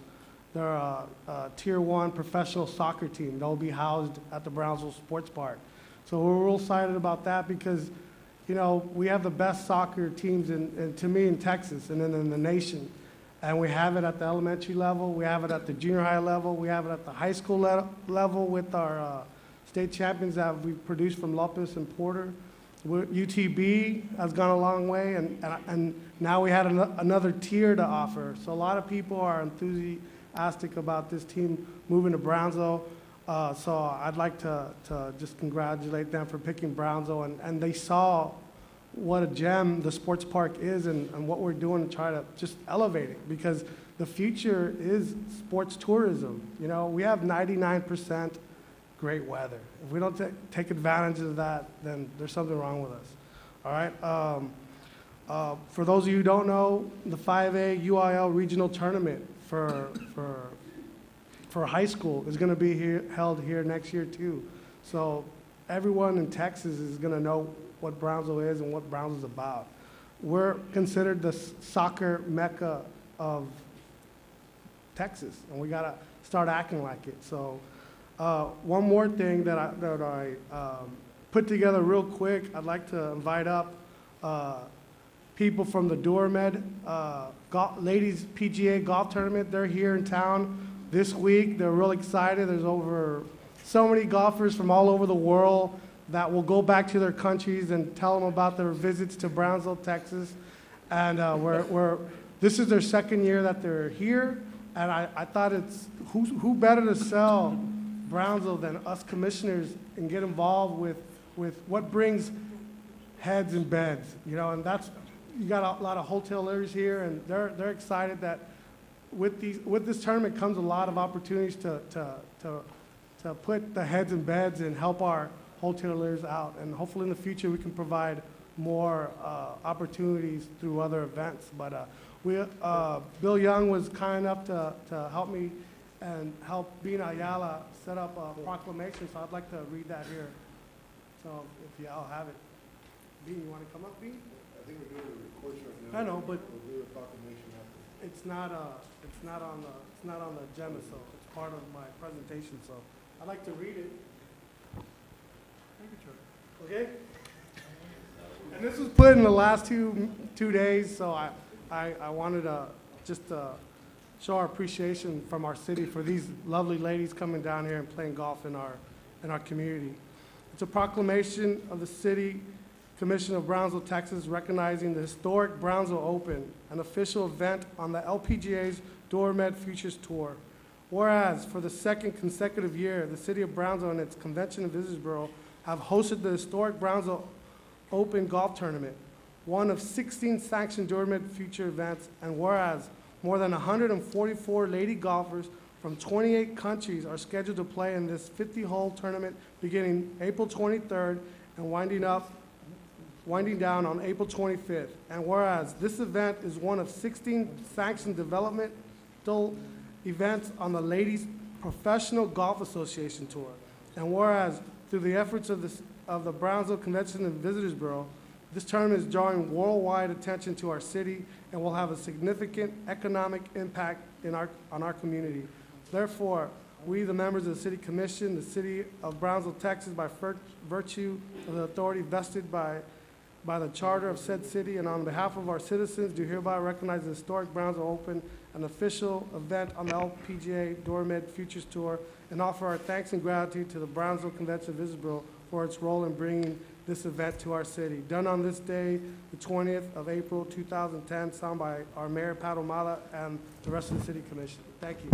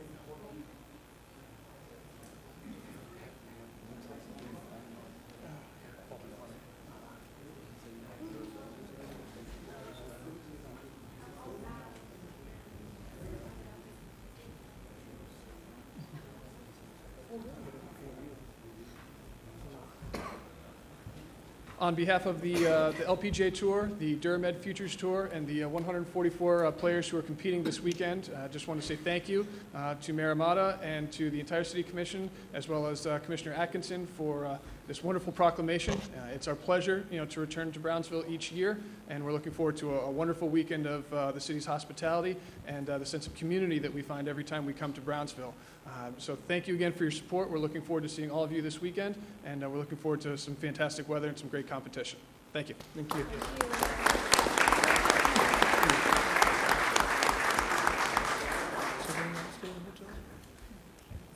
Are you finished with your report? Yes, sir. Moving into the reports, uh, Commissioner Camarillo? Two weekends ago, uh, we had a, the TxDOT, uh, Texas Trash Off Bash. Um, we, we, uh, coordinated at the city's recycling center on uh, West Elizabeth Street. We had about 150 volunteers. Uh, want to thank all the individuals, Boy Scouts that came out and, and the different clubs and organizations that came and participated and helped pick up trash. Uh, they did a great, great job, so I want to I appreciate their efforts. Appreciate Healthy Communities helping us out. ESD staff was great, and as always, uh, Public Works was always there to, to help um, pick up after us and, uh, and help coordinate, uh, help coordinate the cleanups. I want to, I know the uh, last meeting I wasn't here uh, because I was at the Keep Texas Beautiful conference, but um, I just wanted to uh, reiterate my, my, my support for the West Morrison Road. As you know, West Morrison um, is part of my district, and it's a major, major artery in the, in, in the area that, that's very much needed to be open, and as you all know that, uh, which was probably explained at the last meeting. Um, but I fully support this project, not just from a, you know, just not just from traffic congestion wise, you know, for the community, although that's very important, but for the economic development um, that I think this project brings to the district and to the entire city of Bronzo. Um, so I appreciate the commission, the commission's support for West Morrison. Uh, last Earth Day events, as you know, this is a, a real, real big week. Um, really excited about Earth Day. So many things and wonderful things that are happening around Brownsville. Um, there's a calendar of events that was that was produced um, and it's been tweaked a little bit, but there's quite and each of the commission has a copy of events that are going on. Um, I know some of us will be at Walmart's and HEBs throughout on Thursday, uh, so I look forward to that. But throughout the week, there's a number of other events uh, that I hope you all would consider participating in and, uh, and coming out, and enjoying yourselves, and, and, and just again uh, supporting Earth Day in itself. Um, this Friday, we're going to have a movie night. It's going to, we're working in conjunction with the Student Life at the university. We're going to have a inflatable screen, and we're going to have we're going to show uh, WALL-E the movie uh, on the on the grounds of Dean Porter Park. So this is a great opportunity to bring out the families and, and kind of watch this movie. And, and we picked the movie. Um, well, I wanted another one, but th- this one made more sense um, because it really just shows the kids. And, the the picture has a meaning about what we do with all of our trash and our waste and how it all piles up. And so I've never seen it, but it should be exciting, and I uh, hope you all can make it out there. And last, uh, on Monday, the university is having their second annual Seeds of Hope, the border wall, and uh, one year later. And basically, it's a, it's a panel discussion uh, that the president's going to give, and I think it's important to, to let you all know if you all could come out and participate and, and, and hear what hear what they've what they've done so far and what they go through and what we go through as a city. Um, I think it's very important for the community to be involved and engaged in something that's um, uh, really important to this community. That, com- that concludes my report. Commissioner, would you like to promote the uh, April 22nd reusable bag day? How could I forget? Well, I know it's a proclamation coming up, but on Thursday, we are asking the entire city of Brownsville uh, not to use a single plastic bag. So I encourage each of you, wherever you are at on Thursday, to think about when you go to Stripes, and I'm going to try to give a plug to Stripes, wherever you go, and you're supposed to purchase something, and somebody wants to give you a plastic bag, please don't take it. Take it in your hand, or bring your, and hopefully each of you will get your very own reusable bag. Okay, so on Thursday, it's reusable bag day. So I encourage you all, please use your bags. Uh, many of the, the stores will be giving out the, their own reusable bags. HEB, Walmart will be giving out like 20,000 bags. Uh, so there's no excuse why any of us should be holding on to something that's plastic on Thursday. So again, I encourage you all, use your reusable bag. I want to thank Delina and uh, 4B and PUB for their efforts in helping us purchase 20,000 bags for the city of Brownsville alone. And this was done, again, to help elderly, low-income folks of this community understand what the ordinance is about. And this is real important.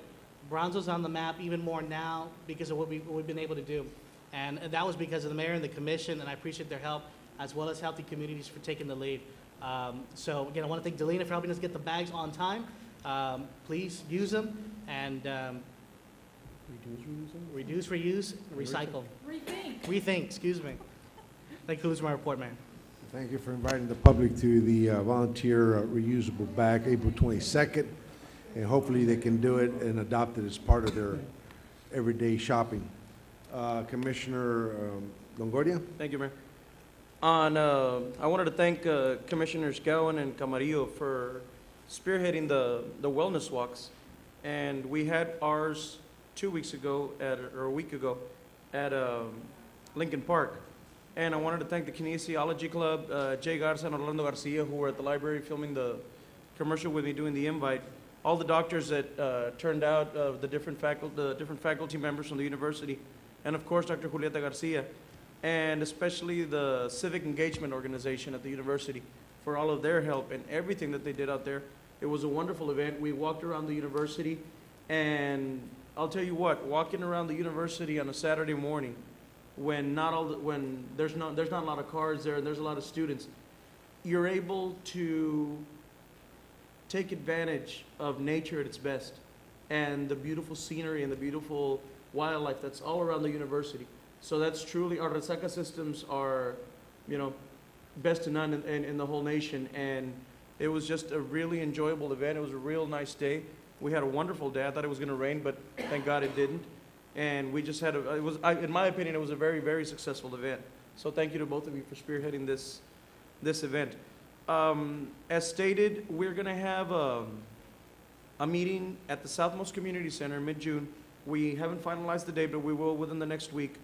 And it's gonna be a two-day event for, just in case you couldn't make it the first night, if you can make it out the second night.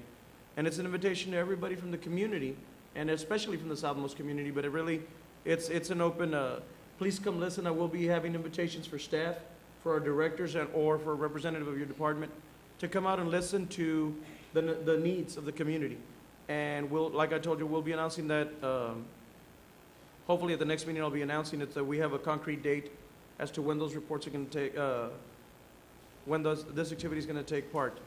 On my District One update, uh, basically, we're looking at, right now, uh, members of Public Works and Engineering, we're going out and doing surveys on the streets and what we need so that we can bring a more detailed report to CDBG funding to Ben Medina, and so that we can start addressing all of these situations that we have. Our major concern in Southmost has always been streets, and it continues to be streets, and that's what we're working on right now, and that'll conclude my report. Thank you. Thank you, Commissioner Longoria. Uh, Just a reminder uh, to everybody, please fill out your census form. It's very important. That's where we get federal dollars for, for uh, our quality of life projects here.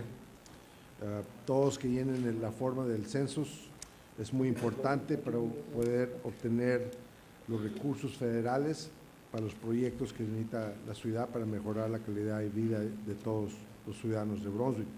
Also, Cameron Workforce has opened up a satellite uh, on Southmost, 5636 Southmost Road. It's about a half mile past McDonald's on the right side.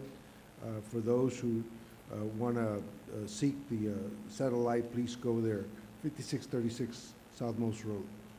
Uh, Para la gente que vive en la Southmost, hay un satélite para el departamento de Cameron Workforce, para la gente que necesita uh, asistencia, entrenamiento, eh, que vayan a la 5636 Southmost. Es pasando el McDonald's en la Southmost como una media milla al lado derecho. That concludes the reports. Next to, uh, uh, go on to proclamations. Catherine Stillman Day.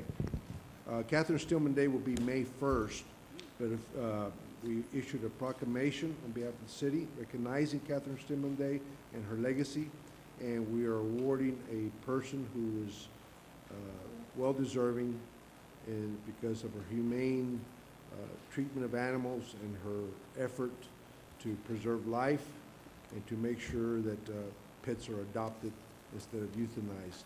The the recipient this year with, along with, in conjunction with the Stillman family, uh, the city is recognizing Dee Lebinsky. Is she here? Is she here, Dee Lebinsky? She's not here. Uh, Gerardo, do you know anything about it? Uh, Stella, do you know if she was contacted? Yes, she was. I don't know if she's coming, though. Okay. She will be awarded Saturday, uh, May 1st, but we'll read it here and then present it to her on May 1st at uh, the Stillman Park. If the Stillman family will come forward uh, so we can uh, uh, read it and present it and then uh, officially give it to her on Saturday, May 1st, on Captain Stillman Day.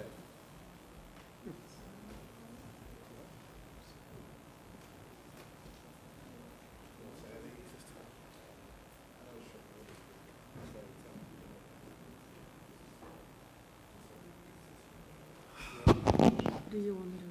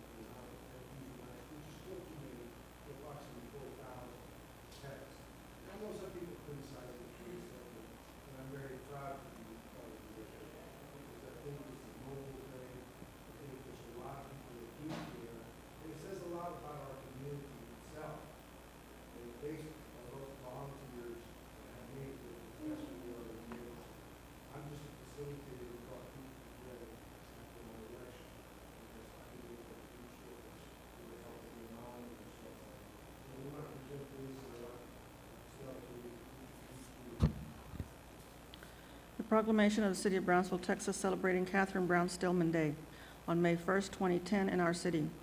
Whereas Catherine Brown Stillman was born on September 22nd, 1923 in Dallas, Texas, and after extensive education married Dr. James Stillman in New York City in 1952 and subsequently raised three children, Alexander, Valerie, and Richard.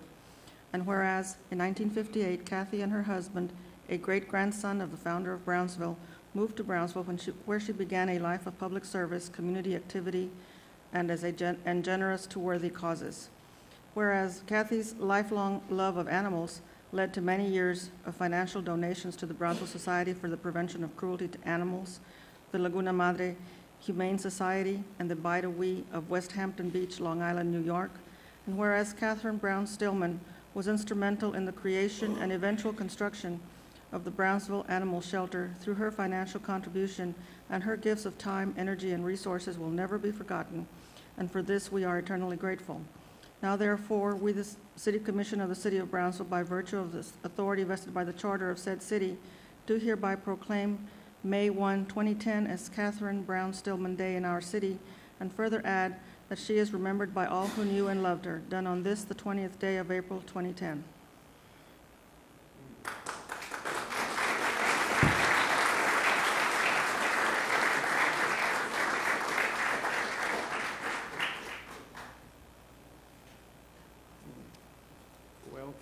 Welcome, City of Brownsville, Mayor, our honored uh, council members, thank you, thank you so much. I also am thanking in the level of my sister Valerie, uh, who I know would like to be here today. I'm glad that I have the opportunity to say things are working very well with the uh, clinic that is out of town and the encouragement for larger pieces of property for our animals. When we have kindness to animals, it encourages the kindness of children, which are our community. It has to start somewhere. And with our community honoring the respect to animals and treatment, the children also learn that so that it, we, we teach these skills early on. So my, my very kind tidings to all of you. Good afternoon.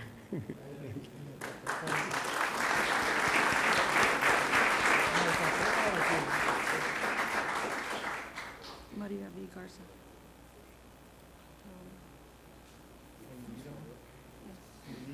Miss Maria V. Garza.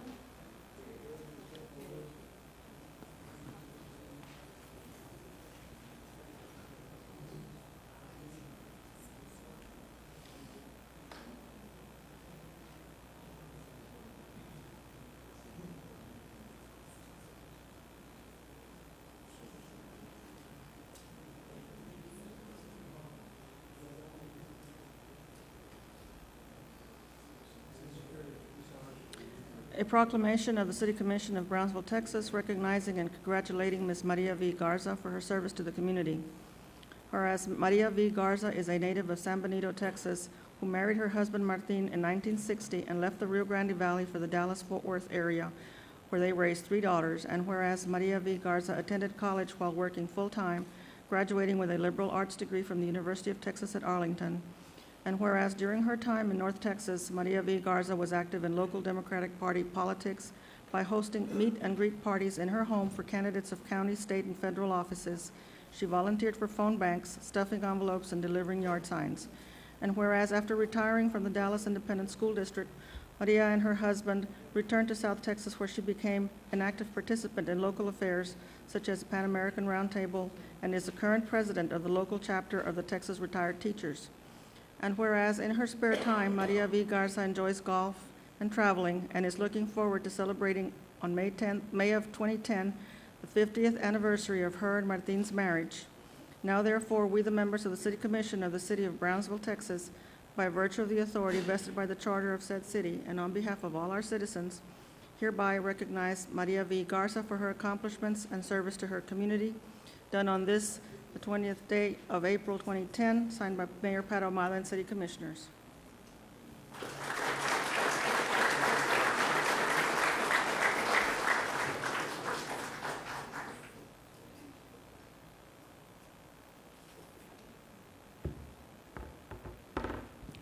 Uh, Mayor, City Commission, thank you so much. I'm overwhelmed. It has been my uh, privilege to help other people and serve my community. Um, This is a total surprise. I just arrived back from Dallas yesterday where I attended the uh, TRTA convention. And um, I have been, uh, well, elected to be the first vice president for the district. Uh, I'm local president.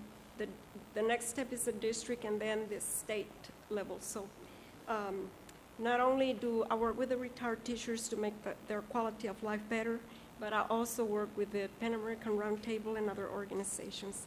And on behalf of my family and myself, thank you to you and all the citizens of Brownsville.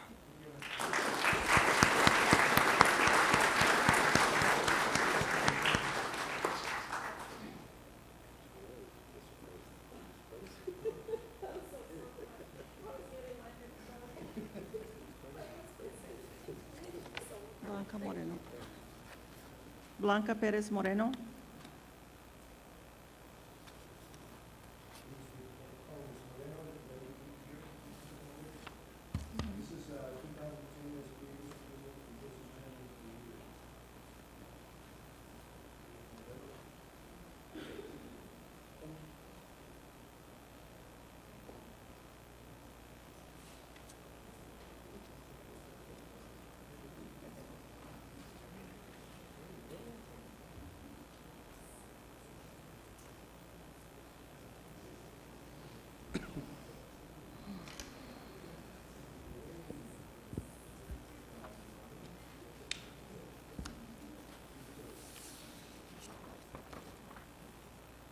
Mayor, Commissioners, and to the citizens of Brownsville. As Mr. Baldomero Trevino was also recognized by the SBA, Ms. uh, Perez Moreno was the female, the Women's in Business Champion of the Year. So at this time, I'd like to be able to read this proclamation in her honor. And this is a proclamation of the City Commission of Brownsville, Texas, recognizing Blanca E. Perez Moreno, 2010 SBA District Women in Business Champion of the Year. Whereas a native of San Antonio but raised in Brownsville and a graduate of Homer Hanna High School, Blanca E. Perez Moreno has parlayed a career in the area of law enforcement into a successful and profitable business, Boogity Bears Party Land, built from the ground up in our city. And whereas in April of 1999, after eight years in the legal business, Blanca E. Perez Moreno took the risk of investing her savings in a new business and opened Boogity Bears Party Land. And in the ensuing, in the ensuing 11 years, has earned a place of respect in the community and in the Brownsville business world. And whereas since 1999, Boogity Bears Party Land has accommodated some 2,700 parties, providing entertainment for over 400,000 guests, and in the meantime, Blanca E. Perez Moreno has ventured into balloons and events by Blanca, where she applies her skills in balloon decor and is currently the only certified balloon artist in Cameron County. And whereas Blanca E. Perez Moreno has combined her success in business with an array of community activities, including volunteering for the United Way of Southern Texas, a child advocate for, the, for, for CASA, court-appointed special advocates, the City Transit Advisory Committee, Leadership Brownsville, and a member of the Community Fellowship Church, and recently for the Citizens Advisory Board in Brownsville. And whereas in December of 2009, the Brownsville Chamber of Commerce nominated Blanca E. Perez Moreno for recognition as 2010 District Women in Business Champion of the Year, and she has been awarded district recognition from a, from a seventh South Texas County area by the Small Business Administration. And whereas during her, during her busy career, Blanca Perez Moreno has found time for marriage and is a proud mother of two girls, 14 and 7. And whereas Blanca Moreno is a fine example of the results that can be realized from determination, hard work, and a solid business ethic. Now, therefore, we, the members of the City Commission of the City of Brownsville, Texas, by virtue of the authority vested by the Charter of said city, do hereby recognize and congratulate Blanca E. Perez Moreno and her family on her selection as the Small Business Association Women in Business Champion for 2010, and further wish her every success in all her future endeavors. Done this 20th day of April, 2010, signed by Pat Ahumada, Junior Mayor Brownsville, and the City Commission. Congratulations.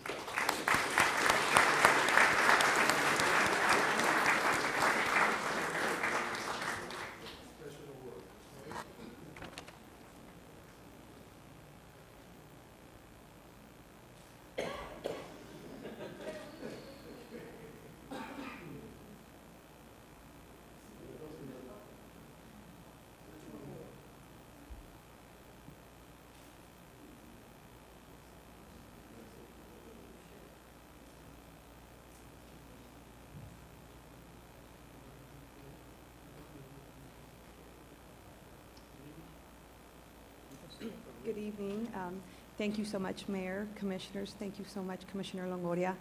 Um, I just want to um, thank you for this proclamation, um, and I share this with my family and my staff. I wouldn't be here uh, if it wasn't for their support, so I I thank them, and I want to um, commend our Brownsville Chamber of Commerce for supporting me and members. Um, Thank you so much.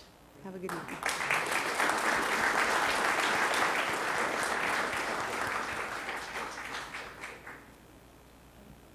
Earth Day, it's Earth Day, the next proclamation. I don't know who's here to receive it.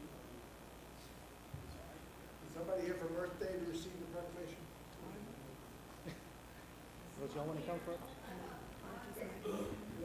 Ar-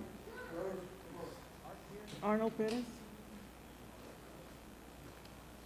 Art is in El Paso. I think this should, this should be, uh, a tribute to, I guess, to everybody that that helped bring together a new park. That's right. Dan, Dan, where are you? Did you hear that? Judge Neese? Did you hear? He was here earlier. He was here earlier. Uh, those who participated in Earth Day that are here, I'd like you to come forward if you can. And where's, uh, Go ahead, Rose. There's a lot of people that made it happen from the city of. All of us were on staff, Earth. The refuge, parks, uh, the animal shelter, uh, there's timber. Shelter community. I know, all of us We were on have Earth. the city, uh, Rose, I want to share this with you. And there's Arnold. All right.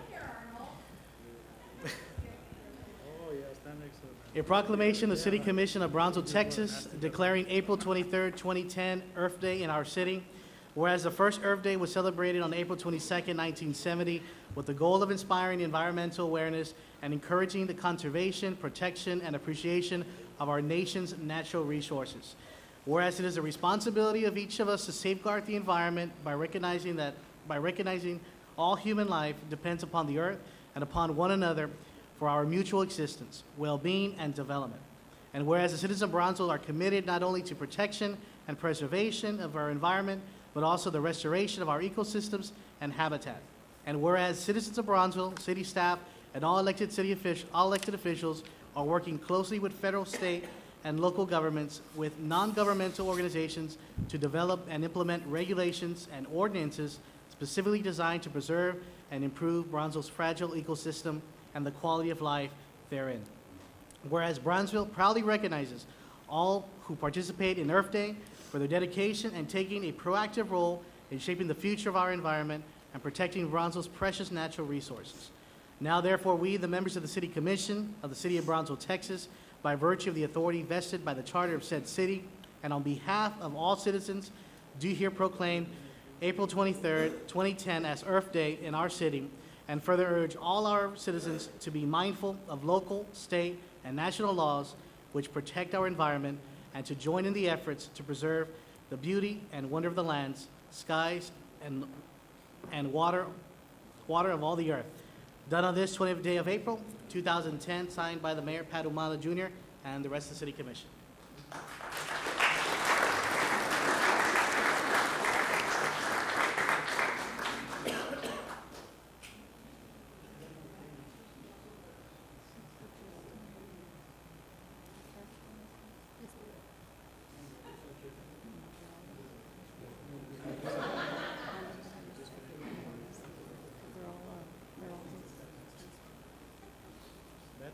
You- The U.S. I would chess like to team? thank, um, Oh, I'm sorry.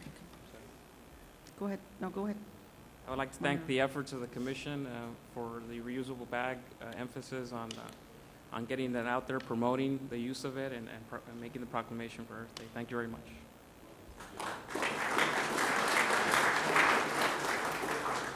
All of us were on, all of us were on Earth that day. Will you, EDSC, uh, trustee, please come forward. Russell? Please come forward. Russell Harwood and I, all ways in chess.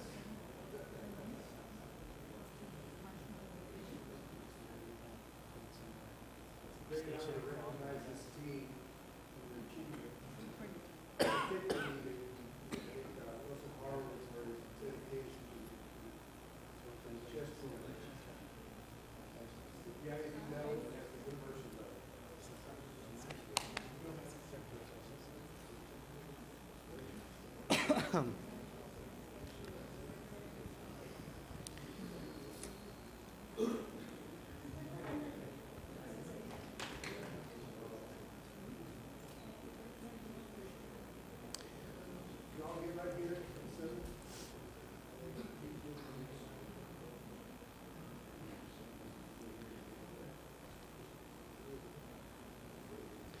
Before I, uh, before I read the proclamation, I just want to, um, again, I want to congratulate the whole team uh, on the success that you have had, not just at this, this, this past, this month's uh, Final Four, but in the years past, and everything that this team has, has achieved and accomplished.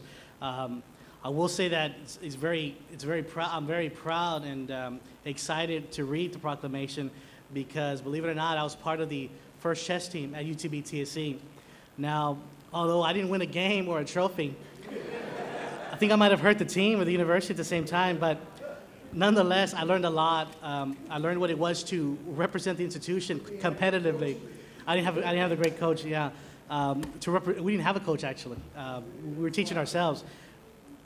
The, the, the level of competition at chess was great, and that's what it was about for me. That was the rush. Um, and I want to thank everyone who helped make this what it is. Believe it or not, you all are, you all are winners. And being successful on the boards equates to being successful in the classroom and in the community. And you're doing that. And you're showing that the young kids in Bronzo that are playing chess, they're gonna have, they're gonna have the same, and if not better. And so I want to thank you all. I want to thank the leadership, Rusty, the coaches, um, and the institution for what they do to believe in a program that's about intellect and strategy because it's very, very important. And, and it's a product and it's something that's here to stay. And uh, again, I'm very, very proud of you all. And I'm sure this won't be the last time that y'all come before us. And I'm sorry that it took us so long to bring you before the commission. Now, a proclamation of the City Commission of Brownsville, Texas, recognizing the UTB TSC chess team. Whereas on April the 9th through the 11th, the UTB TSC chess team competed in the 2010 President's Cup tournament, the Final Four of college chess, and the Salon Cassia in the Education and Business Complex on the college campus. And whereas teams competing in the tournament included the University of Maryland, Baltimore County, University of Texas at Dallas, Texas Tech University, and the University of Texas at Brownsville, Texas Southmost College. And whereas these entrants qualified for the Final Four of college chess by finishing as the top four U.S. universities at the 2009 Pan American Intercollegiate Team Chess Champions Championships hosted by UTB TSC. And whereas on April the 9th through the 11th, tournament play, UTB TSC placed second, only half a point out of the first place, winning its matches with UT Dallas, Texas Tech, and drawing with UMBC. And whereas representing UTB TSC were first board Grandmaster Timur Gareyev, second board GM Mauricio Flores, third board GM Axel Bachmann, fourth board International Master Max Cornejo, and alternates WIM Nidia Ortiz and Luciana Morales.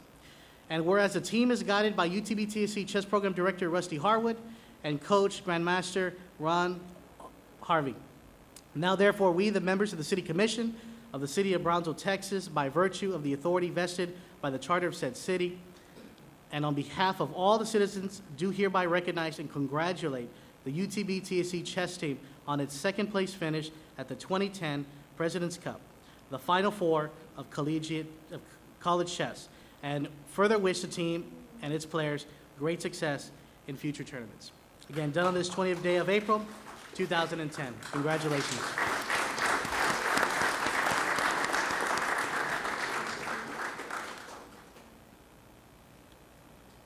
Mr. Mayor, Commissioners, uh, first of all, thank you very much for the recognition. I'd like you to know that wherever we play, we're always very, very proud to represent Brownsville. Um, chess is very important to our community. Um, as Mayor Ahumada said, you know, it, this is something that goes way back, and it's something that BISD has gotten behind and the city has gotten behind, and um, it's a great opportunity. It's brought a lot of positive um, recognition to our city. As we speak, there's a group out of California, Higher Ground Entertainment, that's working on a documentary and possible feature film about the Brownsville chess story. And um, during the Final Four, we had HBO down filming for Real Sports with Bryant Gumbel. They're doing a segment on Brownsville chess It's going to be coming out next month. Um, so anyway, we're, I'm so proud of our students. They're, besides being great, great young people, they're outstanding students. We have a brand-new coach, Grandmaster Ronen Har-Zvi, who we welcome to our community, and we look forward to representing Brownsville in the future. Thank you very much.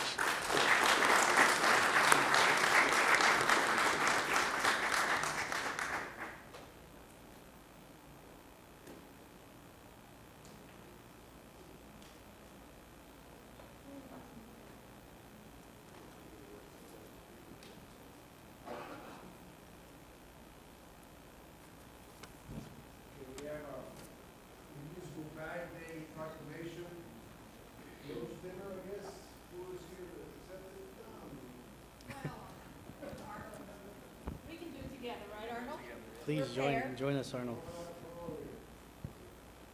encourage all citizens, particularly at April twenty-second, to find alternative ways of using plastic bags to carry their groceries. And we hope that it's part of their daily lives with shopping. In the old days, our parents used to hold on those.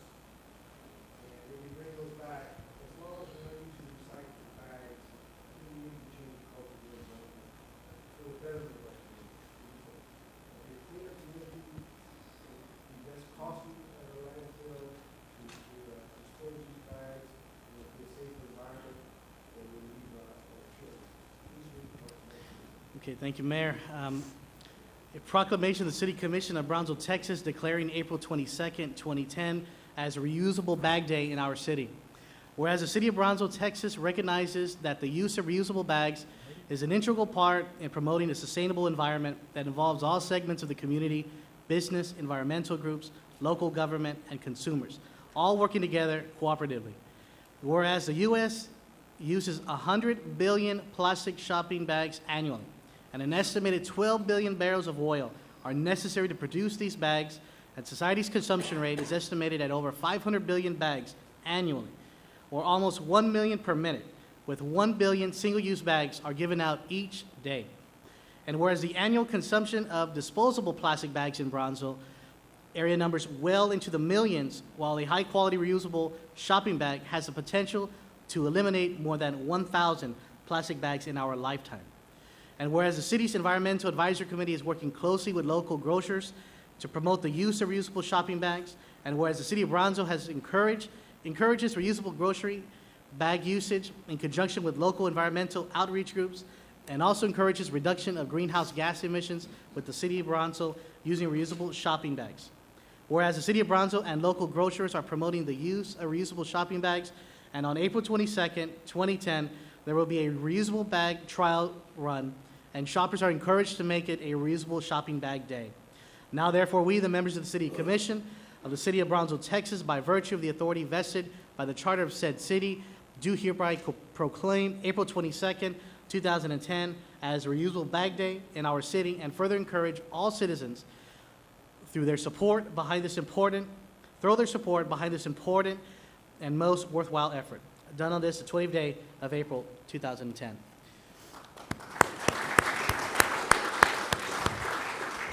And I hope everybody in the audience is thankful. I wish the entire city was here, but everybody here got a reusable bag. So very happy that now everyone here has a bag. Hopefully you out in the community will get yours too this week. Please do. You know, I have to tell you all, I know the city has a lot of problems, and there's a lot of things in the newspaper and issues, but this is really a good step, and you guys really need to go, get to know your public officials.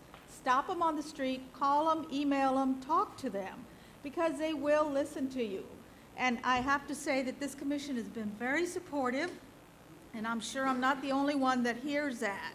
I have a wonderful committee that I work with, starting with Mr. Camarillo, Arnold, who works for public health, right? Public, public health? Or, I get them mixed up with works.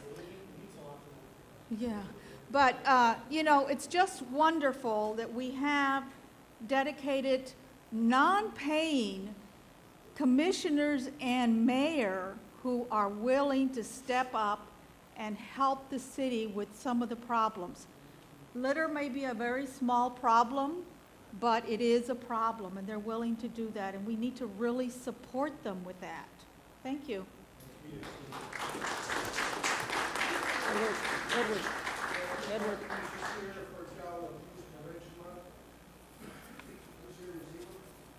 There's gonna, there's gonna be two of them, the same one. It's just one read.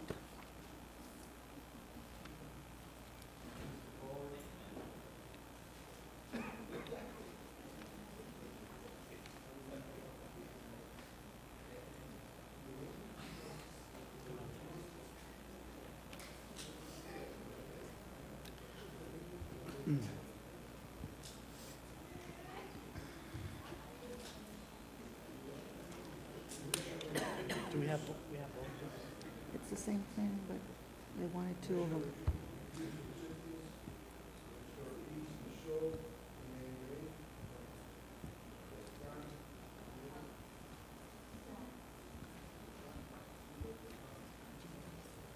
Again, welcome, uh, welcome to our, welcome welcome to your chambers.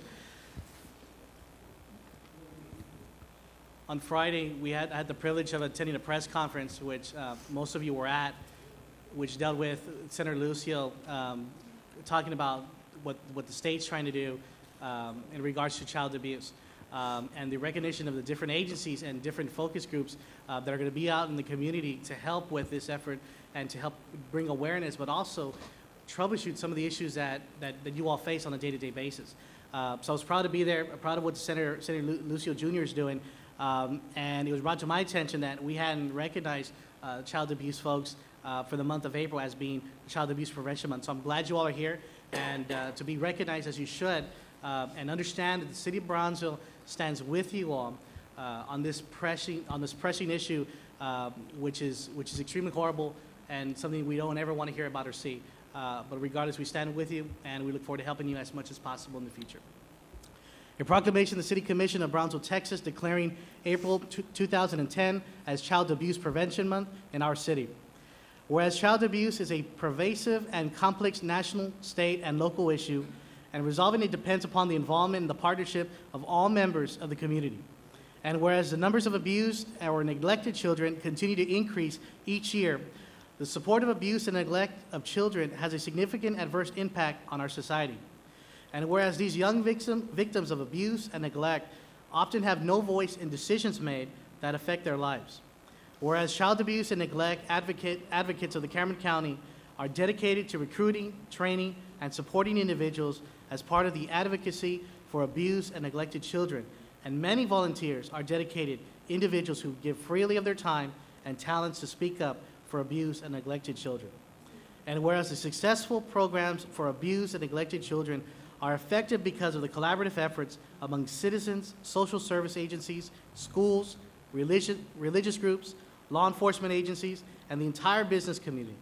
And whereas breaking the cycle of abuse and neglect by protecting the children is the morally right thing to do and represents a significant investment in the future of our community and further assist in assuring the safety and well-being of all citizens, especially the most vulnerable who are children, should be a priority of our community. Now, therefore, we, the members of the City Commission of, the, of Texas, by virtue of the authority vested by the Charter of said city, do hereby proclaim April 2010 to be Child Abuse Prevention Month in our city. Done on this 20th day of April 2010.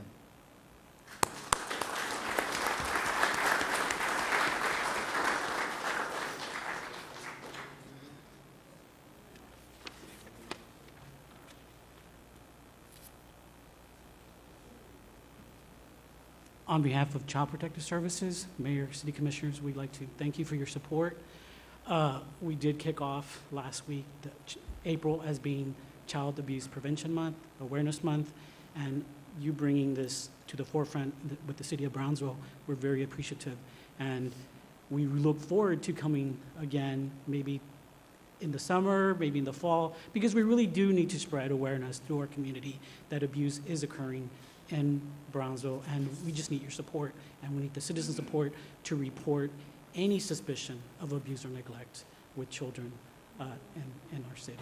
Uh, Also, on behalf of the Children Advocacy Center, uh, Monica's and Maggie's House, we also like to uh, thank the board, I mean, thank the Commissioners Court for, for, for us being here today. Thank you.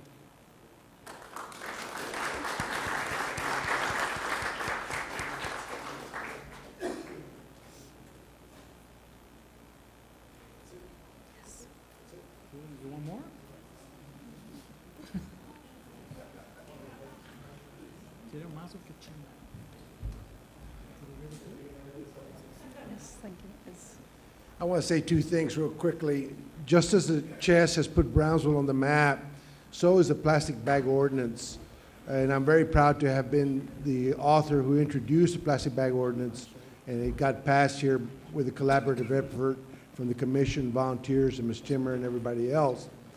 Austin is now looking at Brownsville. We were the first in the state to pass the plastic bag ordinance. Austin is now looking at Brownsville for assistance to help them pass a plastic bag ordinance. So Brownsville's again being talked about as to what it's done in a proactive way uh, for the benefit of the community. And I think that speaks well of Brownsville, and I'm very proud to be part of it. And on the uh, Catherine Stillman Day, uh, May 1st, uh, there will be an adopt-a-thon at the uh, uh, dog park there at the animal shelter on Farm, on Farm Road 511. Uh, Please go by, and, and there'll be fi- uh, events there for children, and, and dogs will be shown uh, that are up for adoption. And I think it'll be a fun time there at the park. So uh, mark it on your calendar, especially if you're looking for a pet to adopt. You'll find a great pet there at the animal shelter that will be uh, available for adoption on May 1st, which is Saturday, at the Catherine Stillman uh, Dog Park. Thank you. We'll move on to the consent agenda items. Consent agenda items A through C. So moved Can to I have a approve? motion to approve? We have a motion by Commissioner Longoria. Can I have a second? Second by Commissioner Zamora. Any discussion on any of them? All in favor? Aye. Aye. All opposed? Motion carries. Uh, Item five, Item five, public hearing and action on first reading of ordinance number 235-2010-004 to rezone from dwelling G to general retail G for Lot 1 and 2, Block 1 of Camino Real subdivision, Section 3, located at 68 Camino del Rey. Uh, Mayor, City Commissioners, that's the uh, property shaded in red, 281 and Camino del Rey, right there in the intersection. The Planning and Zoning Commission voted unanimously to approve this application. Uh, It's for a retail store. okay. This is a public hearing. Anybody against this in the audience? Would it close? Okay, Second. let me call for, I gotta, I gotta, I gotta go through the process. Okay, anybody want to speak on this matter? No? Okay, let me call for a closing the public hearing. Can I have a motion to close the public hearing? Move to close? Motion to close by Commissioner Camarillo, second by Commissioner Atkinson. All in favor? Aye. All opposed? Motion carries. This is an action item. Move to approve? Okay, let's not have a quorum, qu- chorus here. Let me ask for the motion. Person makes a motion, and then I'll ask for the second. Let's go, man. That's the way you run a bus, a business and the meeting, okay? It's not funny. Where can I cast my Okay, check? can I have a motion Move to approve? to approve? Can I have a second? Second. I have a second. Motion to approve and a second, all in favor? Aye. All opposed, motion carries.